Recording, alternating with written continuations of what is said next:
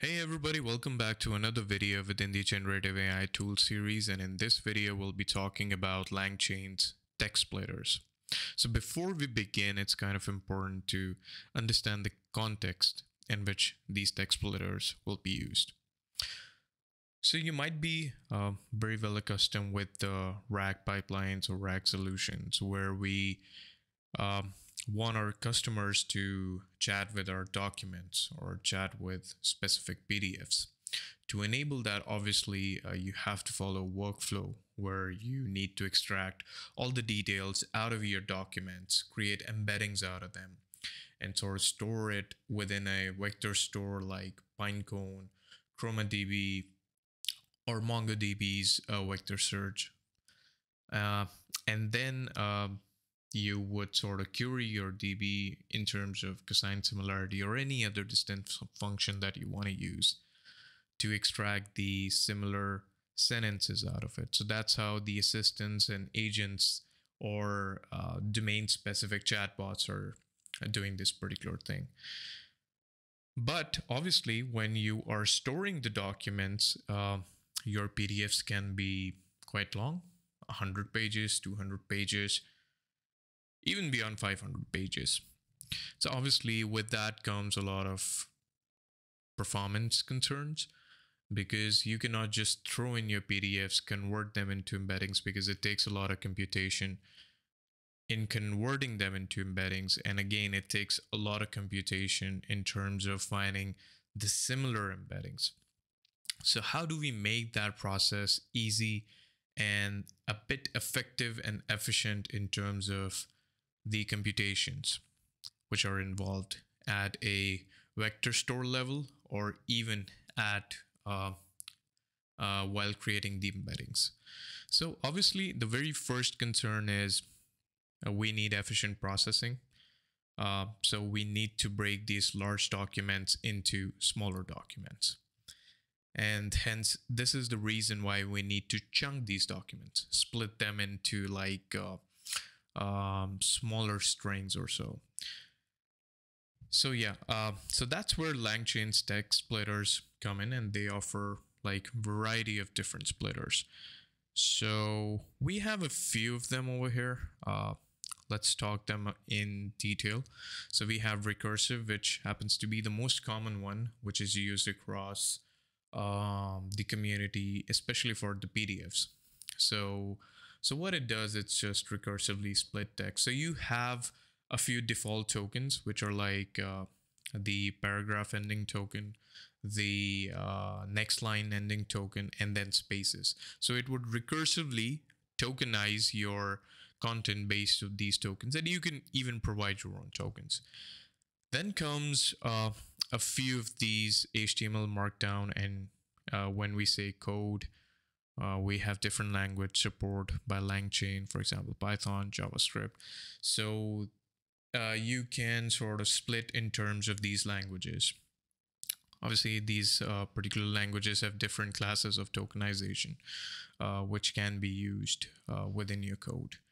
Then we have something which is based on character-based tokenization, which is not sort of recommended because uh, it can create a lot of mess for the for example an openai assistant or langchain agents and stuff like that.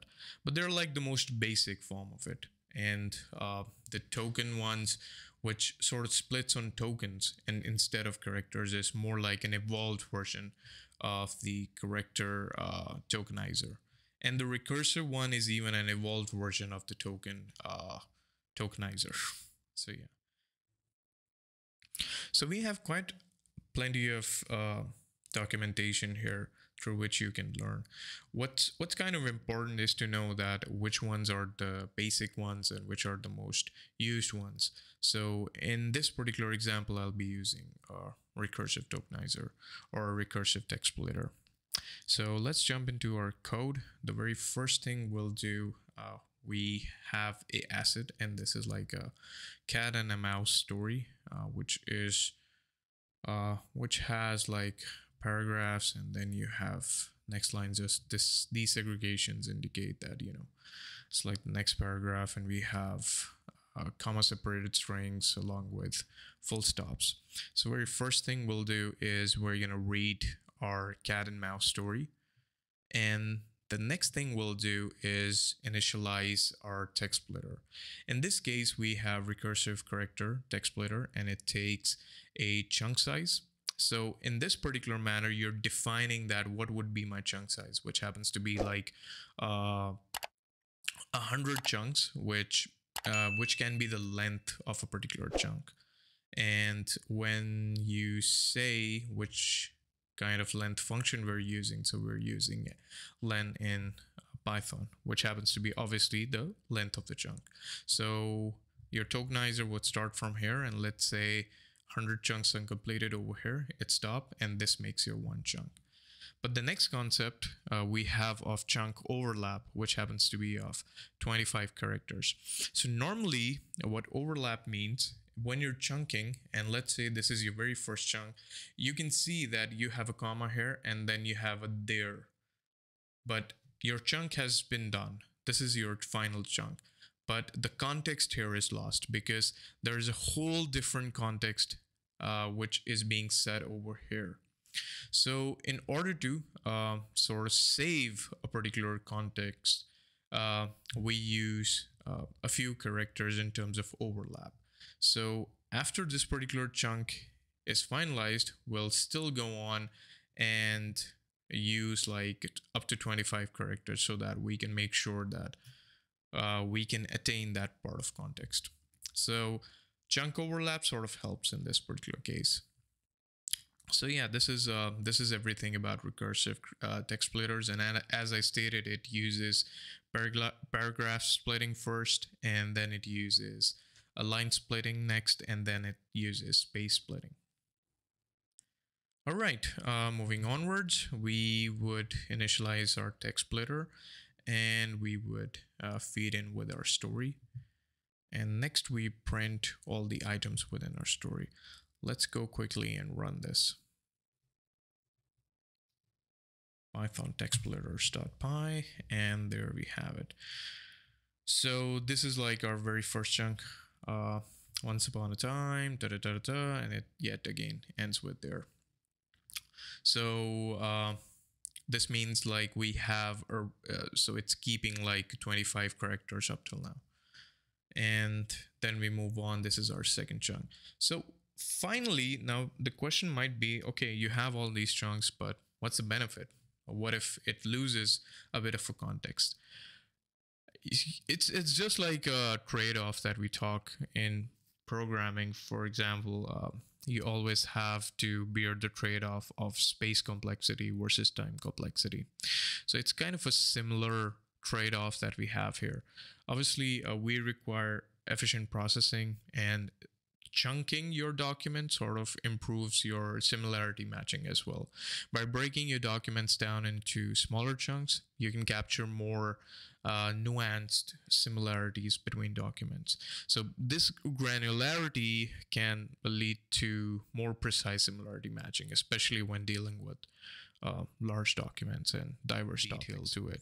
So just in terms of visualization, you can uh, go to ChunkViz and it really helps you visualize stuff. So here we have character splitter, we have recursive character splitter, we have recursive character splitter for JS, Python, and Markdown. So you can sort of visualize it and you can uh, sort of play around with chunk size and stuff like that and how it sort of helps you with it. Uh, you can play around with chunk overlap. So this is the overlap that I'm actually uh, we were actually discussing. This happens to be the chunk size and uh, the 19 characters that I've said is uh, if you visualize this, yeah, so these are the overlap that I was talking about. So this happens in character splitting. So what happens when we choose recursive text splitter? So in this case, you can see how neat it is. We we we can sort of get a whole paragraph uh, very easily uh, just by determining the chunk size. So it sort of helps in sort of uh, keeping the context in the best possible way. Obviously, it may lose some context. So yeah. Uh, so yeah, that's pretty much it about uh, how uh, we can use character splitters and why we should use character splitters. Uh, you can use uh, different character splitters out there, but uh, LangChain offers like an encapsulation where you can use a variety of them. So it's kind of effective and it's kind of cool. Great. Thank you for watching, and I'll see you in the next video.